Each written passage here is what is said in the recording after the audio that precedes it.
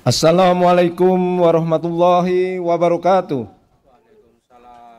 Selamat pagi, salam sejahtera untuk kita semua. Salam, Om Swastiastu, Namo Buddhaya, salam kebajikan.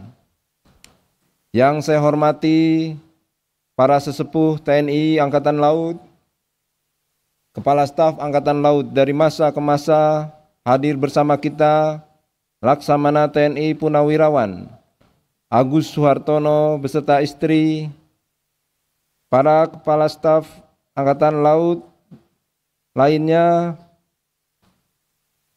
beserta Ketua Umum Jalas Nastri dari masa ke masa, para Panglima Koarmada RI dari masa ke masa beserta istri, para Panglima Koarmabar, Koarmatim, Koarmada 1, Koarmada 2 dan Koarmada 3 dari masa ke masa beserta istri, Kabakamla RI beserta istri, Pangkogap Wilhan 1 beserta istri, Wakil Kepala Staf Angkatan Laut, Pangko Armada RI, dan Pusi Drosal, dan Kodik Latal, para pejabat utama Mabes TNI dan pejabat utama Mabesal, para pimpinan Kotama TNI dan TNI Angkatan Laut, Ketua Umum Jalas Senastri beserta pengurus, para pejabat sipil dan militer, Forkopimda, Provinsi dan Kabupaten Kota Wilayah Jawa Timur dan Kota Surabaya, para rektor perguruan tinggi, pemuka agama, kepala instansi, ketua lembaga dan mitra kerja TNI Angkatan Laut, seluruh prajurit Jalasena Samudra, dan pegawai negeri sipil TNI Angkatan Laut yang saya cintai dan saya banggakan. Hadirin dan undangan sekalian, mengawali amanat ini, marilah kita selalu memanjatkan puja dan puji syukur kehadirat Tuhan Yang Maha Esa, Allah Subhanahu wa taala, karena atas berkat limpahan rahmat dan ridhonya lah kita dapat melaksanakan upacara peringatan Hari Armada RI tahun 2024 dalam keadaan sehat walafiat Selanjutnya, salawat serta salam. Semoga senantiasa tercurahkan pada junjungan kita Nabi besar Muhammad Sallallahu Alaihi Wasallam. Para prajurit Jalasena Samudra yang saya banggakan. Sebagai inspektur upacara, pada hari ini dengan penuh rasa bangga, saya merasakan pancaran kekuatan dan semangat yang membara dari seluruh prajurit yang berdiri tegap di hadapan saya Sikap gagah dan tatapan mata kalian yang tajam menunjukkan kesiapan, dedikasi, dan loyalitas yang tinggi untuk melaksanakan setiap tugas negara yang berada di pundak kita sebagai prajurit Jalasena Samudra. Untuk itu, pada pagi hari ini, saya ingin mendengar teriakan penuh semangat dari kalian semua. Jalas Jalan Viva! Jalan Viva!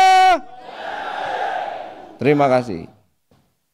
Hadirin dan peserta upacara yang saya hormati, tema peringatan Hari Armada tahun ini adalah dengan semangat Jalus Veva Jaya Mahe. Koarmada RI siap mempersatukan kekuatan Laut Nusantara untuk mewujudkan Nusantara baru Indonesia maju. Tema ini bukan hanya sekedar slogan semata, melainkan sebagai refleksi dari niat tulus dan tekad yang kuat dari seluruh prajurit Jalasena Samudra untuk memberikan pengabdian yang terbaik dalam menjaga kedaulatan bangsa dan melindungi kepentingan nasional di seluruh perairan Indonesia dan yurisdiksi nasional. Tema ini harus menjadi pemacu semangat bagi kita semua dalam mewujudkan Jales Veva Jaya Mahe dalam arti yang sesungguhnya untuk kemajuan dan kejayaan negara kesatuan Republik Indonesia yang kita cintai bersama. Untuk mewujudkan cita-cita tersebut, Koarmada RI memiliki nilai yang sangat penting sebagai tunggang tulang punggung kekuatan TNI Angkatan Laut yang tergelar dalam wujud sistem senjata armada terpadu atau SSAT yang meliputi KRI, pesawat udara, pasukan marinir, dan pangkalan. Kekuatan terintegrasi ini menjadi ciri khas dan keunggulan TNI Angkatan Laut dalam melaksanakan tugas-tugas operasi baik secara mandiri maupun bersinergi dengan matra darat dan matra udara serta kekuatan pertahanan dan keamanan nasional lainnya. Koarmada RI harus bisa memastikan kesiapan operasional dan koordinasi antar satuan untuk dapat berjalan secara efektif dan efisien sehingga mampu mengatasi berbagai ancaman dan tantangan secara optimal untuk mewujudkan keberhasilan pelaksanaan tugas pokok TNI dan TNI Angkatan Laut.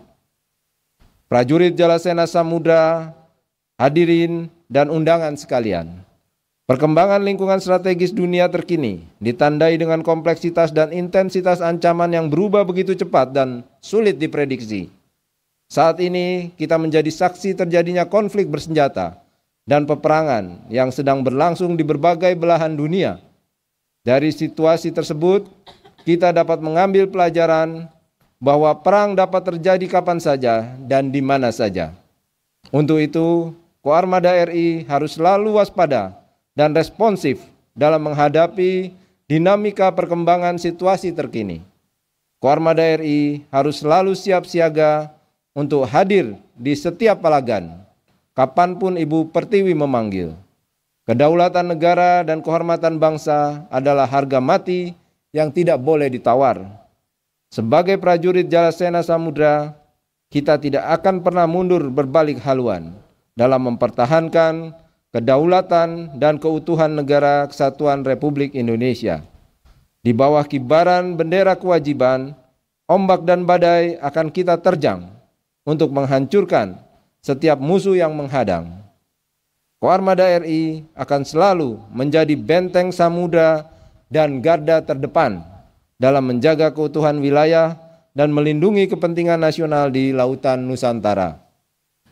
Para hadirin dan peserta upacara sekalian, seiring dengan dinamika perubahan ancaman dan kompleksitas tugas-tugas Angkatan Laut di era modern saat ini, transformasi kekuatan armada RI adalah keniscayaan. Upaya yang sedang dan akan terus kita laksanakan mencakup modernisasi alat utama sistem senjata atau alutsista, peningkatan fasilitas pendukung operasi, pengembangan manajemen operasi dan logistik, serta pendidikan dan pelatihan untuk mencetak prajurit yang profesional dan berintegritas. Upaya ini bertujuan untuk mewujudkan kekuatan TNI Angkatan Laut yang modern, berdaya gentar kawasan, dan berproyeksi global. Kemampuan ini tidak hanya dibutuhkan untuk menjaga kedaulatan negara dan melindungi kepentingan nasional di laut, tetapi juga untuk memastikan bahwa Indonesia memiliki daya tawar strategis yang kuat dalam percaturan geopolitik dunia. Hadirin dan peserta upacara yang saya hormati, tahun 2024 ini memiliki makna penting yang perlu kita pedomani bersama. Dengan adanya visi pemerintahan yang baru, yaitu bersama Indonesia Maju menuju Indonesia Emas tahun 2045. Visi ini mengajak segenap komponen bangsa untuk bersama-sama menyatukan langkah dan upaya dalam melaksanakan pembangunan agar dapat sejajar dengan bangsa-bangsa maju di dunia dan mencapai kejayaan Indonesia di tahun 2045. TNI Angkatan Laut bertekad dan senantiasa menjunjung tinggi loyalitas terhadap pemerintah dan akan selalu berada di barisan terdepan untuk menyukseskan program pemerintahan yang baru demi terwujudnya kemajuan dan kemandirian bangsa. Salah satu fokus pembangunan nasional adalah penguatan ketahanan maritim yang mampu mendukung kebijakan pertahanan, pengembangan ekonomi biru, dan diplomasi pertahanan yang tangguh di kancah regional maupun global. Hal ini bukan hanya menjadi tugas TNI Angkatan Laut, tetapi juga membutuhkan kolaborasi erat dengan semua komponen bangsa, mulai dari instansi pemerintah pusat dan daerah, kementerian dan lembaga negara, akademisi, sektor swasta, dan seluruh lapisan masyarakat. Dengan semangat kolaborasi dan sinergitas, TNI Angkatan Laut bertekad untuk menjadi enabling factor sekaligus katalisator dalam menyukseskan pembangunan nasional. Seluruh peserta upacara, hadirin dan undangan sekalian. Pada kesempatan yang baik ini, saya juga mengucapkan terima kasih dan penghormatan yang tak terhingga kepada para sesepuh TNI Angkatan Laut atas pondasi kokoh yang telah dibangun serta untuk keteladanan yang telah diberikan kepada kami sebagai generasi penerus prajurit Jalasena Samudra. Menara kejayaan TNI Angkatan Laut yang menjulang tinggi saat ini merupakan hasil kerja keras dan pengorbanan dari generasi ke generasi. Saat ini, tugas kami sebagai generasi penerus adalah melanjutkan tongkat estafet dalam rangka menjaga, mempertahankan kebesaran dan meningkatkan kejayaan TNI Angkatan Laut yang kita cintai bersama. Selanjutnya, atas nama seluruh jajaran TNI Angkatan Laut, saya mengucapkan selamat Hari Armada Republik Indonesia.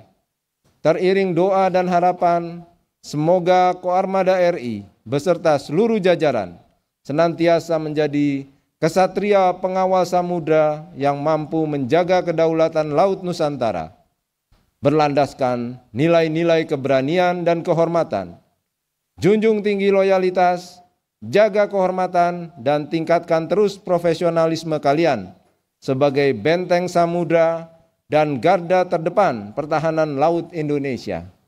Kalian harus mampu membuktikan kepada rakyat dan negara yang kita cintai ini bahwa kalian adalah prajurit tangguh armada Republik Indonesia yang menjadi tulang punggung pertahanan negara di laut. Akhir kata, marilah kita berdoa dan memohon semoga Allah Subhanahu wa taala senantiasa melimpahkan rahmat, taufik dan ridhonya kepada kita semua dalam melanjutkan pengabdian kepada TNI Angkatan Laut TNI, bangsa, dan negara Republik Indonesia. Jalus Feva! Jalus Feva! Jalus Feva! Sekian dan terima kasih. Gora Wira Madya Jala, Eka Pada Banda Jala, Nusa, Jalus Feva Jayamahe, Wabillahi taufik wal hidayah. Wassalamualaikum warahmatullahi wabarakatuh. Salam. Om Santi Santi Santi Om. Yeah!